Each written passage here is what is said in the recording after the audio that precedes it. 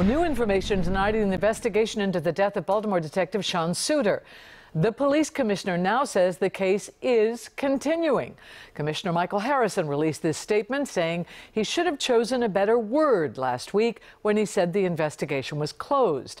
He said there are still steps that need to be taken. Tomorrow marks two years since Suiter died while investigating a homicide in West Baltimore.